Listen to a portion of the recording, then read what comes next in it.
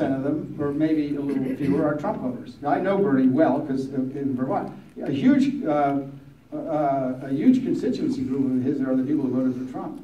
Uh, he's an amazing guy. He's an incredible politician. He has never voted for a defense appropriation or a war. He can go to the, into the American Legion or the VFW and they come out and they will love him. And they'll cheer for him and they'll vote for him. He just goes in and he says, the millionaires and the billionaires, they're taking your money from the veterans and you're not getting your share of the benefits you were promised. and they love them, And they go to the parades with the, with the hats on and they say, go Bernie, go give it to him.